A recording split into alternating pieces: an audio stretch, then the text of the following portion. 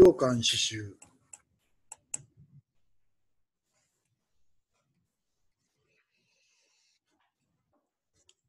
え今日は307ページお開きください。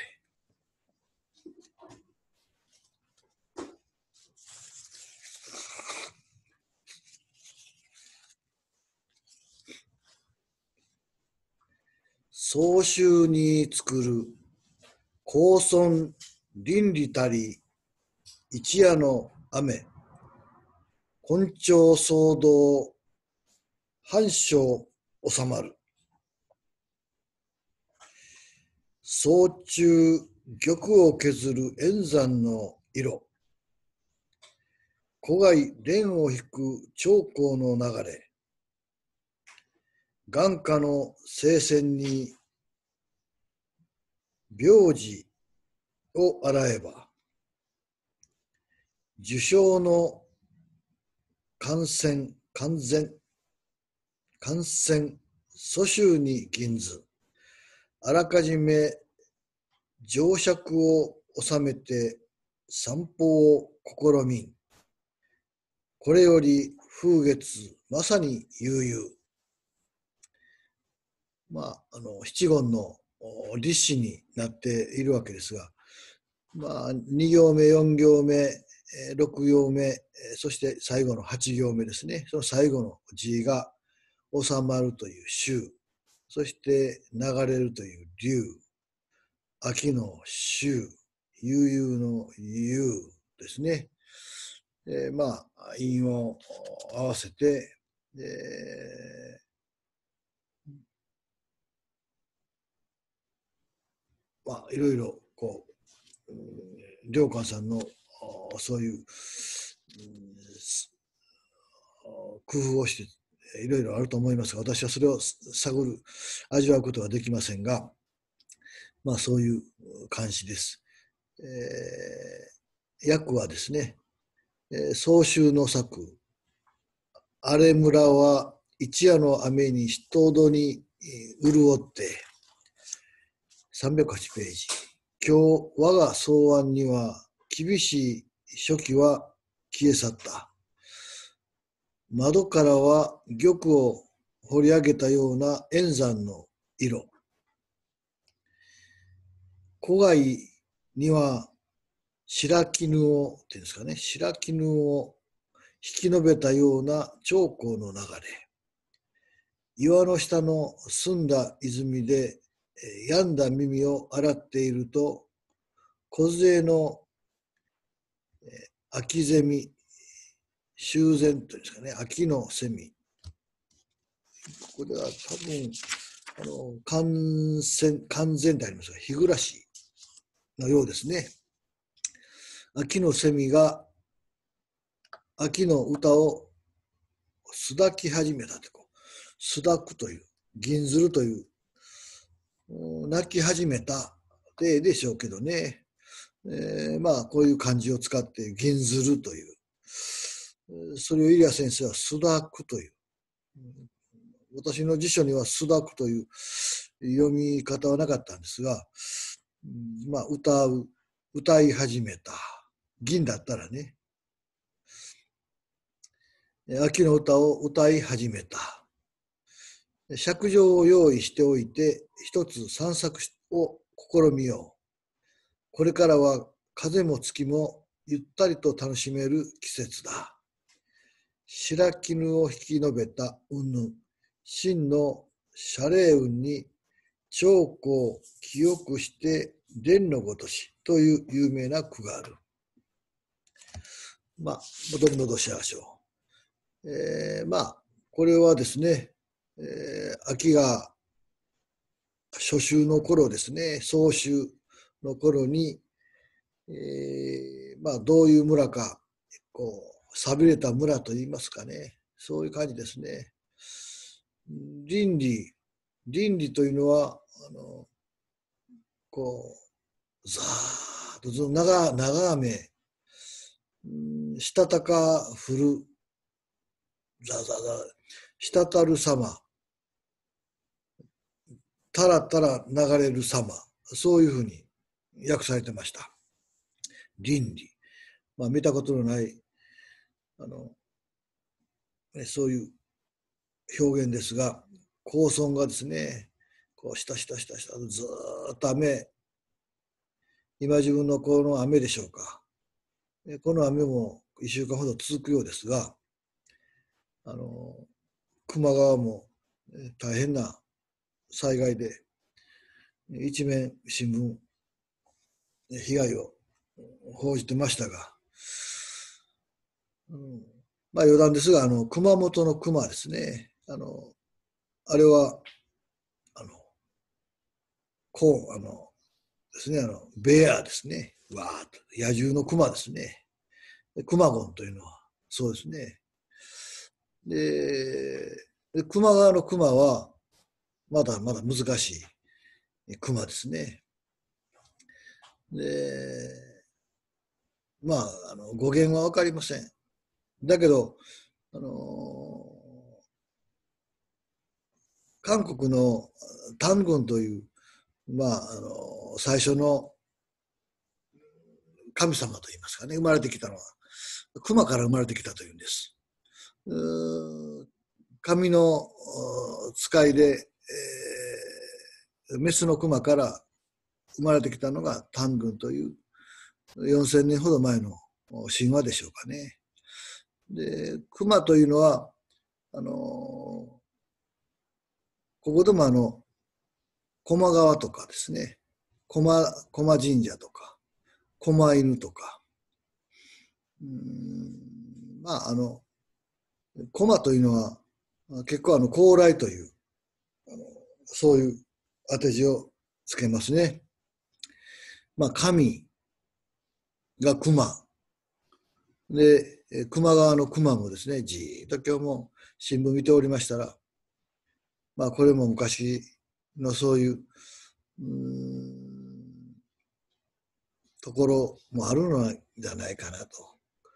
あの宮崎と鹿児島の間に韓国岳というのがあります。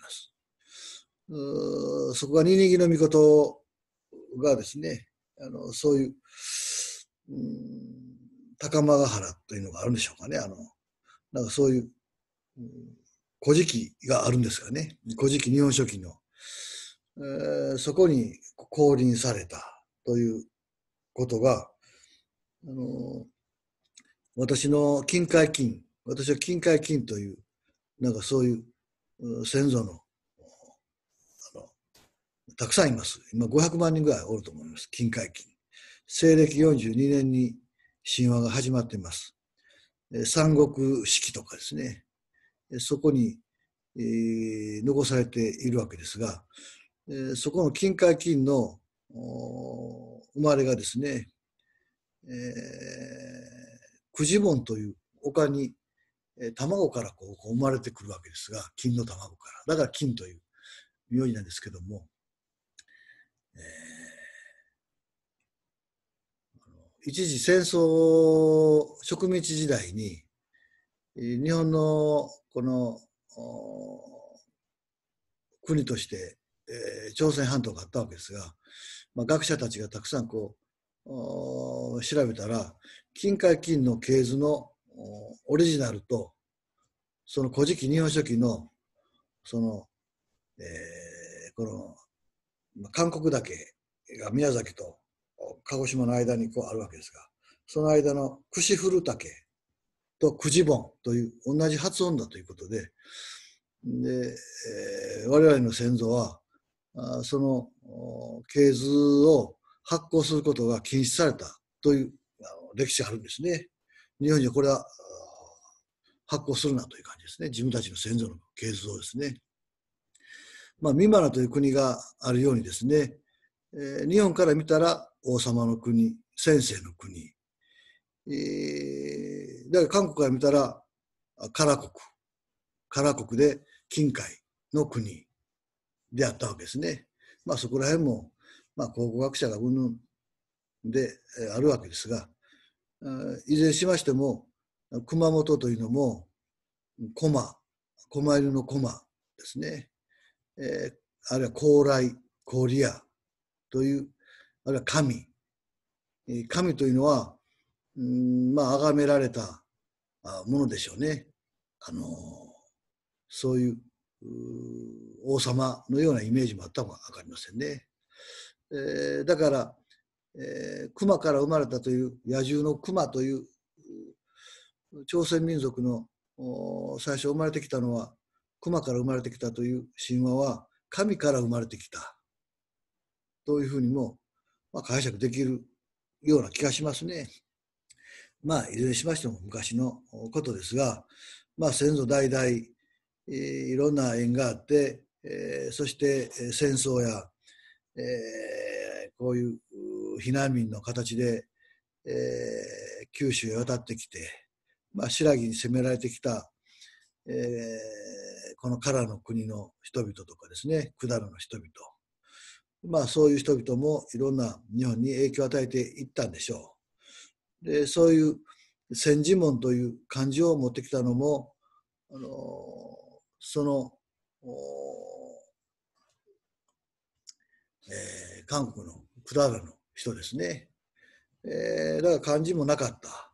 もちろんそうですね。まああのやっぱり漢字はオリジナルはやっぱ中国ですからあそこからずっと流れ流れてこう下流の方へ行くみたいにこう行くわけですからう。だからそういう漢字とか言葉とか織物とか稲作とかあるいはそう鉄鋼技術とか、まあ、そういういろんな文化がだーっとこう入ってきたしねもともとオリジナルは、まあ、中央アジアの方からの文化だったと思いますがシルクロードもそうでしょうけどもで日本はあそれによってバーッとこう、えー、一躍文化が文明というんですかね、えー、こう大きくなってえー、またそういう部族争いも始まっていくんでしょうね。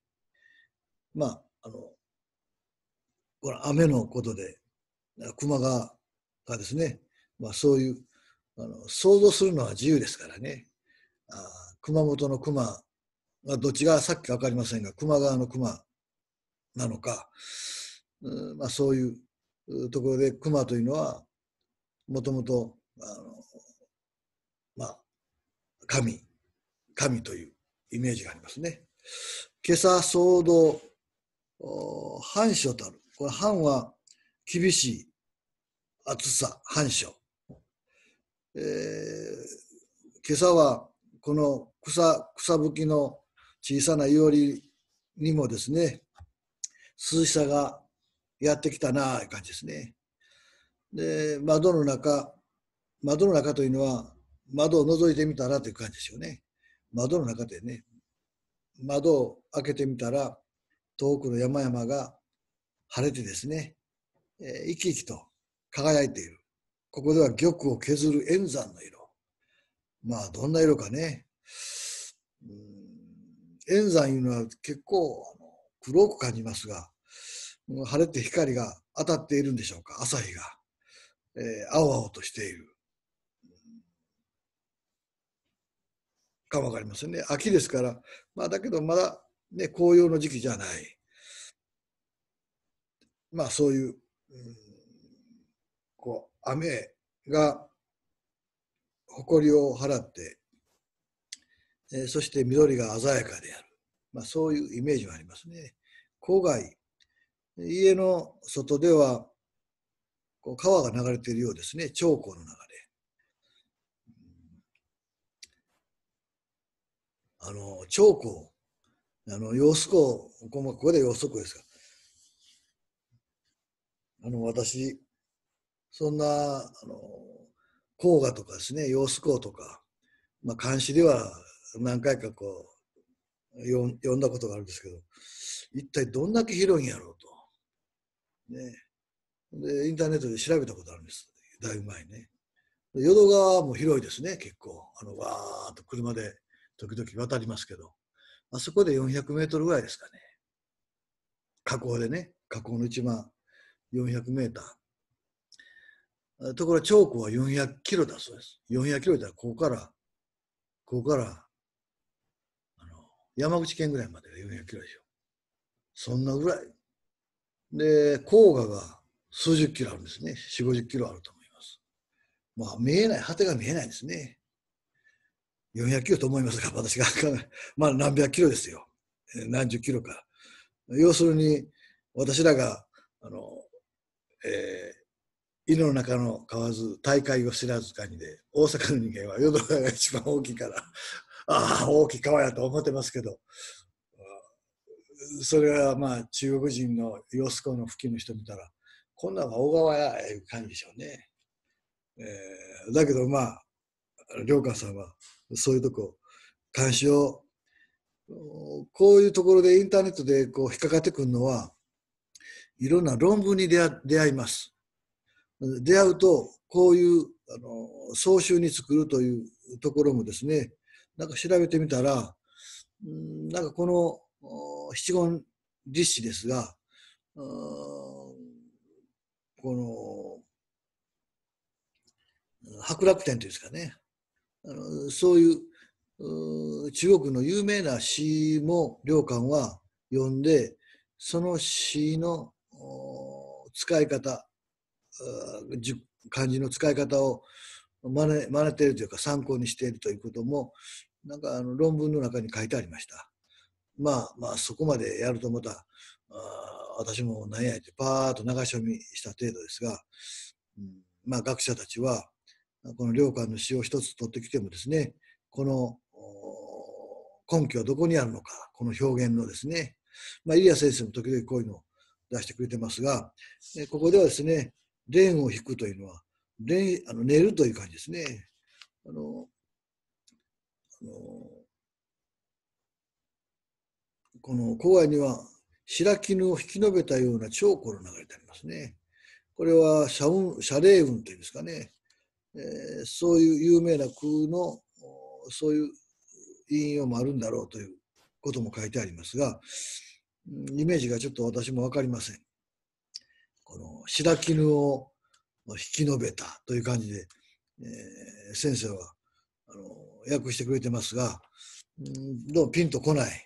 えー、で長江にしても、うん、分からんわけで、えー、せいぜいあのこの前一緒に行きました長良川とかですね大和川とか淀川ぐらいの、うん、しか分からないわけですがまあそういう、うん、あの外のあの川はあの、まあ、雨がずっと降ってましたから球磨川じゃありませんがまあちょっと濁った感じでしょうけども白絹ですからどうも綺麗なイメージがしますね。あのドロドロの泥水がザーッとですね、えー、こう洪水のような山の土を削って、えー、流れていく、そういうイメージがしますが、まあ、ここではですね、まあ、綺麗なイメージですね。晴れ渡って山は青々、川は、うん、とうとうと清らかであるという感じでしょうね。眼下の聖戦に病児を洗えば、まあ、岩のもとにちょろちょろと湧き水があの出てきます。どこでも出てきますね。えー、私も幼い時は、あの山へ行ったらなんでいつもこう水が出てくるんやろと、不思議に思ったことあるんですね。まあ、未だにも不思議ですが、それほど自然のこの、大きさといいますか、雨がこの木々の根っこのそういう毛細血管のようなところでスポンジのように、えー、土の中で、水をザーッと流さない、えー、それを含ませる。もちろん草花も木もですね。その水を吸い上げていくわけですが、えー、それを蓄えてくれている。だから我々植林をするわけですが、洪水を防ぐためにもですね、山崩れを防ぐためにも、水を含んでくれている。そして少しずつ引力に流されるように、えー、こう下へ下へと水は染み渡って、あるところで、えー、こう湧き水になってくる。で湧き水からまた小川になる。小川が大きな川になる。まあ、脇泉ですね。えー、私も宝泉寺という宝の泉の寺というお寺をあのおりましたから、あのそのイメージがわかるんですね。えー、雨になるとその滝がですね、ドドドドドと落ちてきよる。で雨がなかなか降らないと、もう本当にあのちょろちょろちょろちょろちょろとしてね、まあ、小さな滝ですから。だけど、雨が大雨降った時にはこんな大きなドドドド怖いぐらいにあの水が落ちてくるんですね。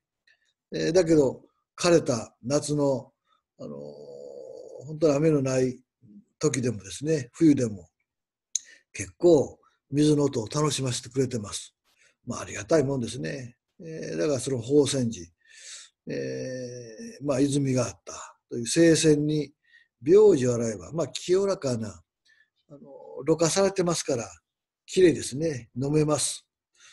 うん私もその湧き水を飲んでおったんですね。一時、あの大阪来た時は、わざわざあの水タンクを持って、でそしてあの滝の水を、小さな滝ですからですね、また皆さんもいつか行く機会がありましたら、なんや、こんなもんかと思いますが、あの結構、江戸時代に和尚さんがきれいにですね、庭師で、えー、岩を入れてですね、やってますが、なぜこうバーッと土が間に入ってきますね、多分。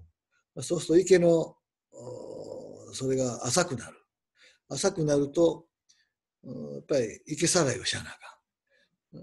それは私30年住職させてもらいましたけど、池さらやったの1回だけです。えー、まあそんなもんですね。そんなあの、でまだ冷たい。入ったらですね、やっぱり山の水は冷たいですね。冬なんか入れませんしね。まあそういうきれいな水で、病児ってどういうことでしょうね。病児。病んだ耳を洗っていると。耳が病むというのは中耳炎とか外耳炎でしょうか。うん、そういう感じですね。だけど、ただれるから、どうでしょうね。うん、そんな外、水で洗うぐらいでは治りませんけどね。まあ仕方がない。まあこういう、うん、ことです。で、えー、木の梢に日暮らしが、もうあの、カナカナカナカナって言うんですかね、日暮らしですかね。秋の、うんえー、を、始まりを歌っている。あらかじめ尺状、ここでは上尺、表則が合わないから上尺にしてると思いますが、えー、D というのは収めるというんですね。収めるという字。で、で散歩試み、まあ、散歩という表現をしましたが、ちょっと、えー、あの、卓圧でも行って、短い卓圧でも行ってみようかという感じですね。さあ、これより、円髪。まあ、普通、卓圧というのは、まあ、前も言いましたが、ここから私が玉作り、そして鶴橋、でそしてそのまま帰ってきます。えー、まあそういうぐらいで午前中に終わりますね。ここから歩いてずっと行くんですよ。ざーっと商店街、今里行って、玉造り行って、玉造りのガード下をざーっと来て、で、鶴橋をだいたい1時間、あるいは30分ぐらいぐるぐるぐるとあの、あの、朝鮮市場というね、あの下、いろいろ、えー、市場があります。そこぐるぐるぐるっと回って、で、また帰って帰ってくる。まあ、それが普通、まあ、私のあのこのコースでしたが、うんまあ、良寛さんは、まあ、一日中歩くと、結構、難波とかですね、黒門市場とか、八尾あたりぐらいまで、布施なんかは近いもんでしょうね。えー、まあ、ウォーミングアップをしてみたと。さあ、いよいよ、えー、涼しい秋が到来する風月の秋だと。まさに、えー、この、うん、卓圧の時期だなと。まあ、見客ですね。えー、武道館さんは、74歳で、えー、亡くなってますね。えー、まあ私のこの年代だったら71ですからね。ああの良寛さん71歳の時は1828年で、うん文政というんですか、11年、5月に、5月、今5月ですね、旧暦の5月、昨日が14日でした。え、越後各地に洪水。11月には三条町を中心として共振あり。ひょっとしたらこれ今日今年当たるか分かりませんね。11月頃、OK、地震があるか分かりません。えー、洪水は5月、ね、日本にもありますが。まあ、こういうぐらいでしょう。次行きましょう。308ページ。えー藤井氏、当氏というんですかね、別所に大須。別所の野原の能に、これ土って書くんですが、まあ、田舎の家、あるいは別荘、別でありますが、別荘ですね。城を去ること一里余り、たまたま最小の連れに伴う。道を挟んで、清少直く、橋を過ぎて、野の梅香るというんですかね。やばいっていうの、野いという、野の梅香るでええでしょう。門にいれば、松あるがごとく、尺を隠れば、すなわち我が今日、ふるさと、感じですがね。我がふるさと。池古くして魚流って言うんですよね。上、魚、竜がいるわけないしね。魚流道。林静かにして、春、春日流し。春日というもあるんでしょうね。春の日流し。家中、何のあるところぞ。師匠、長小に密。暮れに、東証の元を歩めば、悠長また北にかける。えー、訳読みましょう。当氏、藤井さんというのは斎藤さんのことですね。斎藤氏の別荘に大す。町を出外れて一里余りで、たまたま木こりの群れ、えー、群れじゃなくて、連れと一緒になった。道の両側にはこの貢ぐという字はですね、私は誤色じゃないかなと思うんですが、まっすぐの誠というちょあの下に直がありますからね、まっすぐなという真の意味、真の字じゃないかなと、まあ、勝手に解釈しているわけですが、どうもこういう単語はないんですね。貢ぐというあの漢字もわかりません。まっすぐな、こうあの、青い松の並木、清少の並木。橋を渡ると、かぐわしい野の花、野の梅。やがて門を入ると、門に入るとやね、門に入ると、お待ちかねの様子。まあ、懐かしい家なんでしょう。友達、知り合いの家だったんでしょうね。だから、あの我々もあのふるさとといいますか、両親の家へ戻ると、お帰りなさいというイメージの玄関を入るとそういう気がしますね。えー、そういうもんでしょう。えー、尺状を立てかけると、我が家も同然。そうやね。まあ、懐かしい友達の家だったんでしょう。古い池には魚が満ち、静かな林に春の日は伸びやか。えー、春日流しですね。家の中にあるものはといえば、岩石が長い机にうず高い。岩石、師匠、長小に密、長い、えー、テーブルですね、に、バーンとこう置かれている、積んである。えまあ昔は本立ていうのはなかったですね。あの和土地、和土地の本ですから、みんなこう、平積みを起こしてますね。平積みをして、時代劇見ても。立ててある本はないわけです。みんなギャーと胃がいますから。岩石というのは多分、あの良寛さんがこの家で一緒にあのこの漢の漢文のそういう本をこの友達と一緒に読んだ覚えがあるんでしょう。それはそのままあるなという感じでしょうね。えー、日暮れて東の胸のあたりを歩んでいると、東証の章というのは、ね、まだれというんですかね、のもとを歩めば、このま隠れの鳥が、まあ表現がですね、だからこのま隠れ、ね、木の間からという感じですね。木に隠れていた、えー、木の鳥、私はこういう表現できませんが、えー、木に止まっていた鳥が北へ飛び立っていった。別に渡り鳥でもないですね。北の方へパタパタパタパタっと行ったと。まあ、北というのはですね、北昇だ、まあ、飛んでいくのにどこへ飛んでいったかいの、ね、東西南北の北に入れてしまったんでしょう。えー、まあ、パーッと飛んでいくわけですね。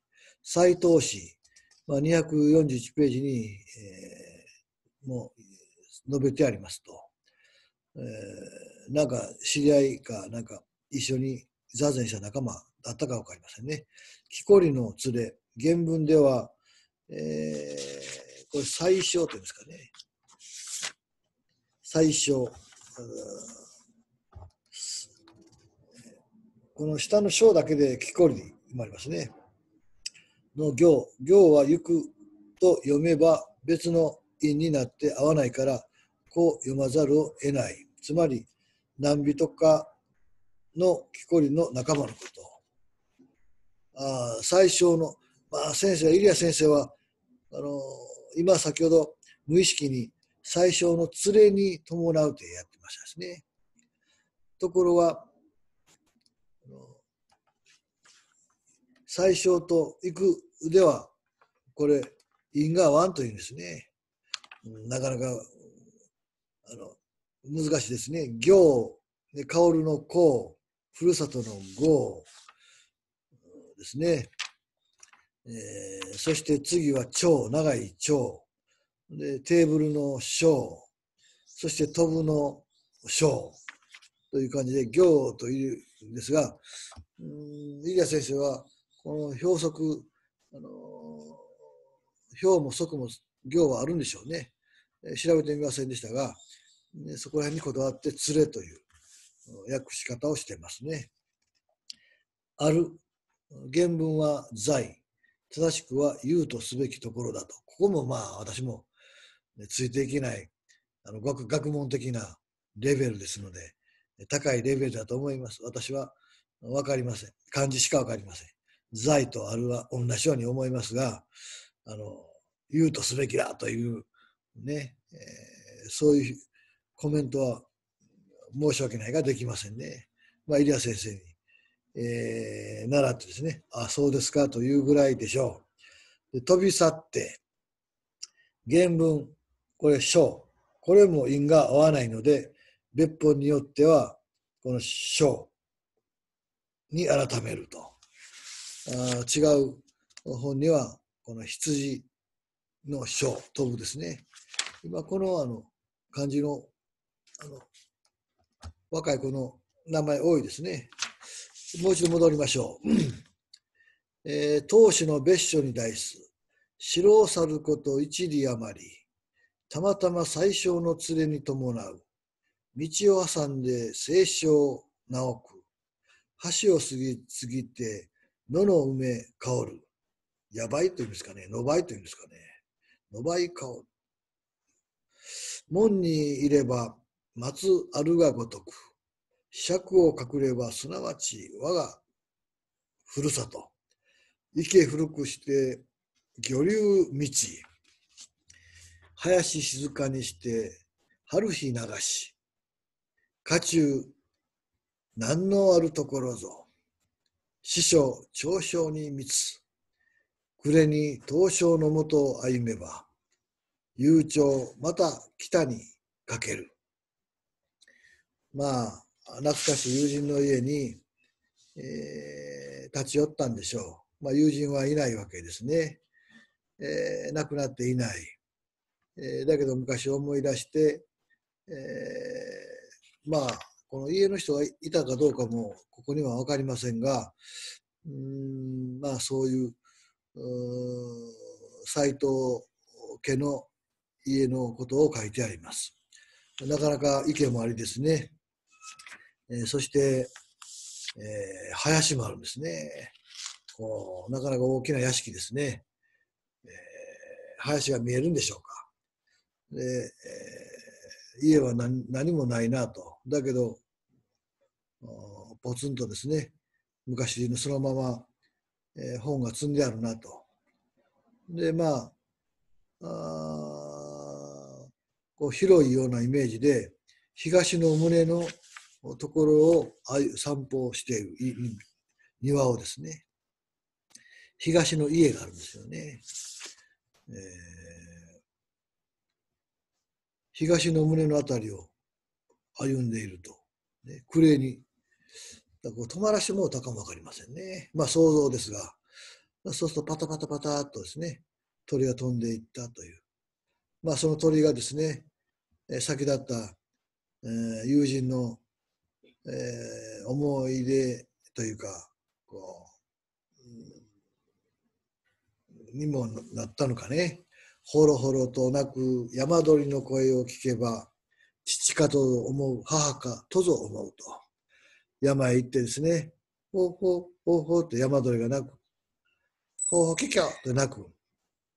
そうすると、父を思い、母を思っている時にはですね、ますます、あ、あの、親父が来て、おいとか言ってくれてるのかなとかね、お母さんが気をつけやとか言ってくれてるのかなとか、そういう思いもすることがありますね。